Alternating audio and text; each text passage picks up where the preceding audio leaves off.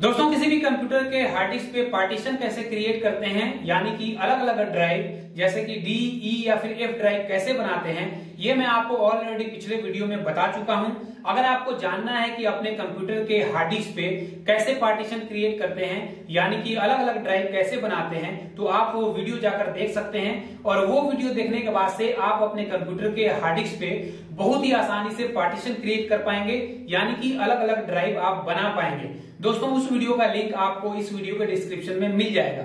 इस वीडियो में दोस्तों, आपको मैं बताने वाला हूँ, अगर आपके कंप्यूटर में पहले से पार्टीशन हो रखा है, यानी कि आपके कंप्यूटर में पहले से अलग अलग ड्राइव जैसे कि सी डी ई या फिर एफ़ ड्राइव है आप किसी भी वजह से अपने किसी एक ड्राइव को डिलीट करना चाहते हैं और आपने जिस ड्राइव को डिलीट किया है, उस डिलीटेड ड्राइव स्पेस को दूसरे ड्राइव के साथ मर्ज करना चाहते हैं तो उसको आप कैसे करेंगे? और मैं यकीन के साथ कह सकता हूँ कि ये वीडियो देखने के बाद से आप बहुत ही आसानी से अपने कंप्यूटर के किसी भी ड्राइव को डिलीट कर पाएँगे और फिर फिर उस डिलीटेड ड्राइव स्पेस को दूसरे ड्राइव के साथ आप मर्ज कर पाएँगे।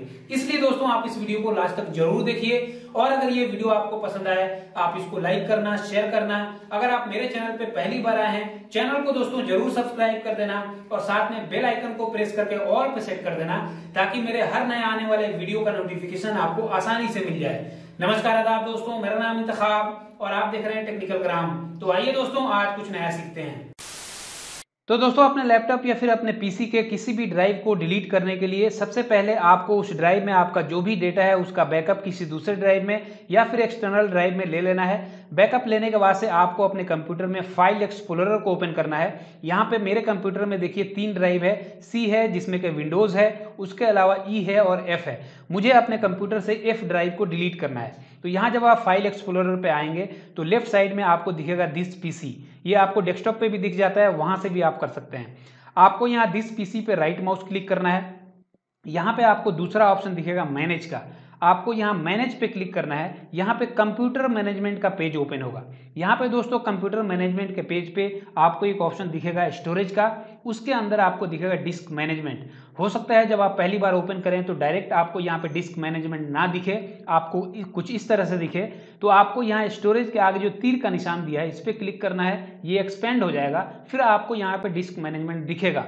आपको यहाँ पे डिस्क मैनेजमेंट पे क्लिक करना है। फिर आपके कंप्यूटर में जितने भी डिस्क होंगे, चाहे वो प्राइमरी हो या फिर सेकेंडरी हो, उसका पूरा लिस्ट यहाँ पे आपको दिखाएगा। मेरे कंप्यूटर में तीन ड्राइव है सी है ई e है और एफ़ है। तो मुझे अपने कंप्यूटर से एफ़ ड्राइव को डिलीट करना है। आपके केस में डी भी हो सकता है या फिर ई e भी हो सकता है। आपको जिस भी ड्राइव को डिलीट करना है, उस ड्राइव पे आपको राइट माउस क्लिक करना है। यहाँ पे आपको ऑप्शन दिखेगा डिलीट वॉल्यूम का। आपको यहाँ डिलीट वॉल्यूम पे क्लिक करना है। अब यहाँ पे ये यह बोल रहा है कि डिलीट करने से पहले उस ड्राइव में आपका जो भी डेटा है उसका आप बैकअप ले लो। अदरवाइज़ वो पूरा डेटा यहाँ से इरेज हो जाएगा फिर आपको नहीं मिलेगा। आप, बैकअप अगर ऑलरेडी ले चुके हैं तो आपको यहाँ यस पे क्लिक करना है। फिर कुछ सेकंड यहाँ पे लगेगा थोड़ा सा आपको यहाँ पे वेट करना पड़ेगा। उसके बाद से वो ड्राइव आपका यहाँ से डिलीट हो जाएगा। डिलीट तो हो गया दोस्तों, लेकिन अभी वो जितना भी उस ड्राइव का साइज़ था, वो यूजलेस है। आप अभी उसका इस्तेमाल नहीं कर सकते हैं। तो अब आपको क्या करना है कि जो भी साइज़ था, उसको दूसरे ड्राइव में आपको मर्ज कर देना है। जैसे यहाँ पे देखिए, मैंने एफ़ ड्राइव को डिलीट किया, जिसका साइज़ था 181 समथिंग जीबी और उसके पहले यहाँ पे देखिए ई e ड्राइव है, जिसका साइज़ है 186 पॉइंट समथिंग जीबी तो अब मैं क्या करूँगा कि जो ड्राइव मैं डिलीट किया हूँ, उसको मर्ज कर दूँगा ई e में। तो अब इसका साइज़ 186 प्लस 181 हो जाएगा और ये पूरा ड्राइव एक अलग ड्राइव यहाँ पे ई e ड्राइव का पूरा इतना साइज़ हो जाएगा। तो मर्ज करने के लिए अब आपको क्या करना है? जिस भी ड्राइव में आपको मर्ज करना है, जो आपने डिलीट किया है, जैसे अगर आपको डी में करना है या फिर ई e में करना है, उस पर अब आपको राइट माउस क्लिक करना है और वहाँ पे आपको एक ऑप्शन दिखेगा एक्सटेंड वॉल्यूम का।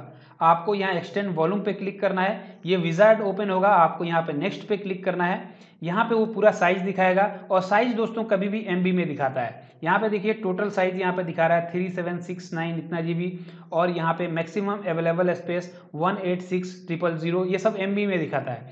आपको यहाँ पे सिंपल क्या करना है? नेक्स्ट पे करना है और यहाँ फिनिश पे क्लिक कर देना है। जैसे आप फिनिश पे क्लिक करेंगे, अब यहाँ पे देखिए जो ड्राइव मैंने डिलीट किया था, वो पूरा साइज़ इसमें ट्रांसफ़र हो गया। अब ई ड्राइव का साइज़ यहाँ पे हो गया three sixty eight G B अब यहाँ पे चल के अपने फ़ाइल एक्सप्लोरर पे देख लेते हैं। अब यहाँ पे देखिए मेरे ई ड्राइव का three sixty eight G B यहाँ पे स्पेस हो गया इसका। पहले यहाँ पे एफ़ ड्राइव था जो कि अब ये डिलीट हो गया। तो ऐसे बहुत ही आसानी से आप अपने कंप्यूटर में किसी भी ड्राइव को डिलीट कर सकते हैं। दोस्तों, उम्मीद है आपको ये वीडियो ज़रूर पसंद आया होगा। अगर ये वीडियो आपको पसंद आया है तो आप इसको लाइक करिए। इस वीडियो को ज़्यादा से ज़्यादा शेयर करिए। अगर ये वीडियो आप फेसबुक पे देख रहे हैं, आप मेरे फेसबुक पेज को लाइक और शेयर करिए। अगर यूट्यूब पे देख रहे हैं चैनल को ज़रूर सब्सक्राइब करिए और साथ में बेल आइकन को भी दबाइए ताकि जब भी मैं कोई नया वीडियो आपके लिए अपलोड करूँ, उसका नोटिफिकेशन आपको आसानी से मिल जाए।